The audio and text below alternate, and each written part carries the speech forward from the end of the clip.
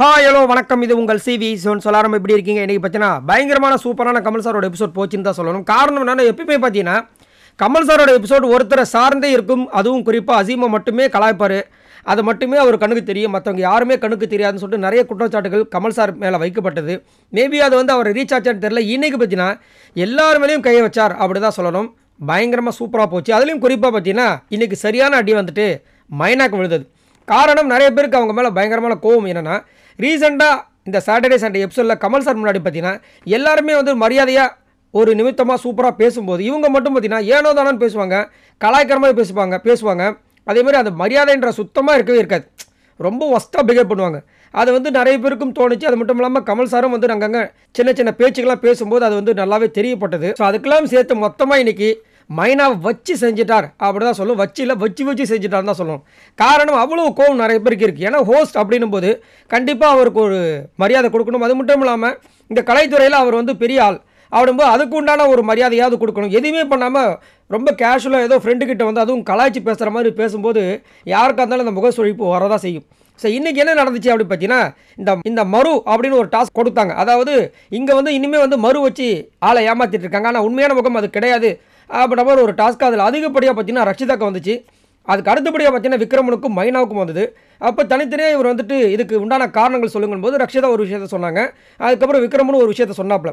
அதுக்கப்புறம் மைனா கிட்ட போகும்போது மைனா கிட்ட ஒரே ஒரு வார்த்தை என்ன சொல்லிட்டார் அப்படின்னா முதல் நீங்கள் இதே மாதிரி வழக்கம் போல் ஜோக் அடிக்கிற மாதிரி இருந்துச்சுன்னா தயவு செஞ்சு உட்காந்துருங்க சீரியஸாக அதுக்கு ஏதாவது பதில் சொல்லணும் மட்டும் சொல்லுங்க அப்படின்ற மாதிரி சொன்னோடனே எல்லாருக்குமே ஷாக் என்ன கமல் சார் இப்படி பேசிட்டார் அப்படின்னு? மைனாக்கில் மூஞ்சி செத்து போச்சு தான் சொல்லணும். ஆனால் இந்த பக்கம் ஆடியன்ஸ் கிட்ட வந்து பார்த்தீங்கன்னா பயங்கரமான கிளாப்பிங் அப்படி சொல்லுங்க கமல் சார் அப்படின்ற மாதிரி இருந்தது. நம்மளுக்குமே சம சிரிப்பு ஒரு பக்கம் அப்படி இருந்தது. செமையாக என்ஜாய் பண்ணோம். ஏன்னா மைனா கிட்ட வந்து ஒரு பெரிய மைனஸ் பாயிண்ட் என்னென்னா எப்படி வந்து கமல் சார் கிட்ட பேசணுன்றதே ஒரு பாடமாக எடுக்கணும் போல இருக்குது அப்புறம் எப்படி இவங்க கேம்லாம் ஒழுங்காக விளையாடுவாங்க? அது மட்டும் இல்லாமல் விஜய் டிவியில் இருந்தால் இவங்க எல்லாத்தையுமே வந்துட்டு ரொம்ப ஈஸியாக எடுத்துப்பாங்களா? அப்படின்ற மாதிரி இருந்துச்சு. நிறைய பேர் என்ன சொல்கிறாங்கன்னா வெளியே போனால் இவங்களுக்கு அந்த சான்ஸே கிடைக்காது. ஏன்னா அந்தளவுக்கு வந்துட்டு விஜய் டிவி அவங்க மேலே கோவமாக இருப்பாங்கன்ற மாதிரிலாம் கருத்து தெரிவிக்கிறாங்க. அது மட்டும் இல்லாமல் என்ன பண்ணாங்கன்னா அந்த மறு இந்த டாஸ்க்கை வந்துட்டு ராம்க்கு இவங்க கொடுத்தாங்க. கொடுத்துட்டு அவங்க கொடுக்கப்பட்ட காரணம் என்னென்னா அவனுக்கு சான்ஸ் கிடைக்கும்போது மட்டும் அவன் பண்ணுறான் அப்படின்ற மாதிரி இதுக்கு முன்னாடி லாஸ்ட் வீக் கமல் சார் சொன்ன அதே விஷயத்தை இங்கே சொல்லும்போது கமல் சார் வந்து டப்பானு ஸ்டாப் பண்ணிவிட்டு முதல் நான் என்ன டாஸ்க் கொடுத்தன்றதை முதல் புரிஞ்சுக்குங்க. கபட வேடதாரி இது வரைக்கும் அறுபது நாளாக வந்துட்டு அவர் வேஷம் போட்டுட்ருக்காருன்றதை தான் நான் கேட்டேன்.